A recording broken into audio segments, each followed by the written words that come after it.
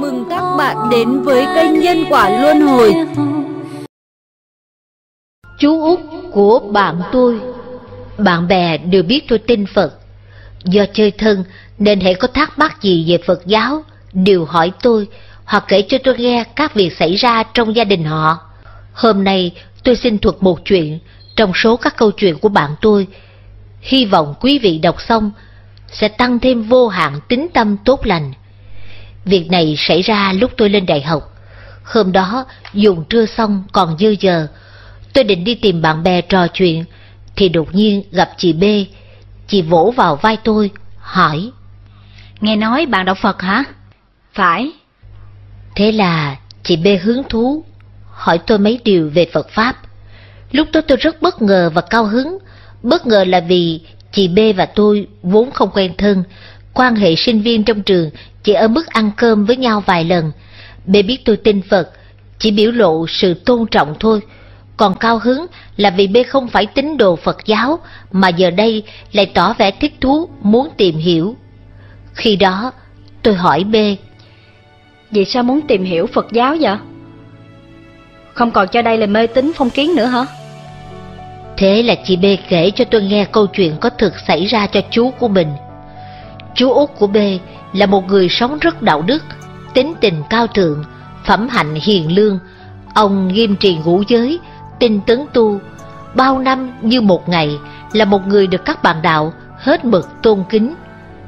Hồi trẻ chú ra nước ngoài làm việc, Hoàng Thiên chẳng phụ lòng người tốt. Cuối cùng chú thành công, có sự nghiệp vẻ vang, khi chú Út trở nên giàu sang rồi, thì liền bảo lãnh song thân và vợ con ra nước ngoài sinh sống. Chưa bao giờ chú ý bình giàu mà xem thường bà con nghèo. Chú luôn luôn cư xử với mọi người hòa nhã, thân thì là bị yện, khiêm cung. Nhưng mà, một Phật tử thiện lương như chú đột nhiên bị bệnh ung bướu, mà lại là thời kỳ cuối nữa chứ. Việc này giống như là bơm nổ trong nhà khiến người thân của chú đều chấn động, không ai muốn tin. Một người tốt như chú lại bị ác báo như thế à? Thậm chí có người bắt đầu hoài nghi Phật Pháp, trách ông trời không có mắt, vì sao thiện nhân không được thiện báo. Nhưng chú út của B vẫn thản nhiên, vì hiểu tất cả đều là nhân quả, nghiệp chướng đời trước. Ngay lúc bác sĩ tuyên bố bệnh của chú không còn chữa được nữa, chẳng những chú rất bình tĩnh mà còn an ủi thân nhân bạn bè. Tuy là chú không nỡ bỏ mặt cha mẹ, vợ con, nhưng một khi vô thường đến, mấy ai có thể trốn thoát được. Chú tu trì thời khóa bền bỉ, mấy mươi năm như một ngày, trọn bề hành thiện tích đức, vậy mà bây giờ lại gặp phải ác báo này.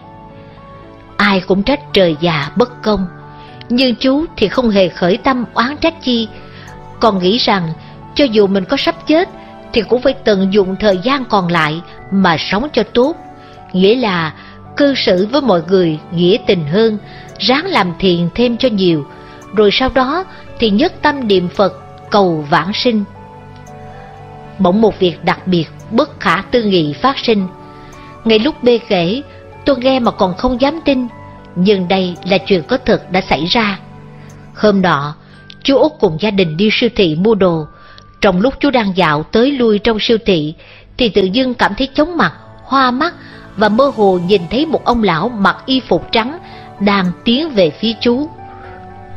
Ông cầm lên một quả trong hàng trái cây, bảo chú Hãy ăn mau trái này nha, phải ăn ngay nhé. Lúc chú út há miệng định hỏi vì sao thì ông lão đã biến mất. Lập tức, thần trí của chú tỉnh lại. Ngạc nhiên hơn là thấy trái quả kia đang nằm trong tay mình. Chú Út nhìn quanh kiếm tìm và vội hỏi người thân. Có nhìn thấy ông lão mặc y phục trắng không? Mới thấy ông ta rõ ràng ở đây mà giờ đâu mất tiêu rồi. Cả nhà đều nhìn chú ngạc nhiên, cùng đáp là không thấy ai cả. Chỉ thấy chú cầm trái cây trên tay và tự lẩm bẩm một mình mà thôi. Sự việc này quả rất khó hiểu. Chú không nói chi nữa vội chạy ra cổng siêu thị mua loại trái cây này đem về nhà ăn. Lúc đó chú cũng không nghĩ ngợi gì nhiều. Nào ngờ chứng ung bú thời kỳ cuối mà bệnh viện tuyên bố hết chữa được.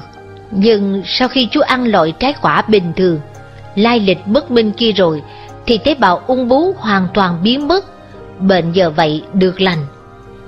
Việc này, khoa học giải thích sao đây? Sau việc lạ xảy ra đó, toàn gia chú Út bắt đầu tin Phật vô cùng, đồng hiểu là nhờ Bồ Tát u uẩn ngầm cứu mạng chú. Việc này gây xúc động sâu xa đến những người thân trong nước lẫn ngoài nước. Cũng nhờ vậy mà tôi biết được chuyện và viết ra để chia sẻ cùng mọi người. Liên Hoa Tiểu Bính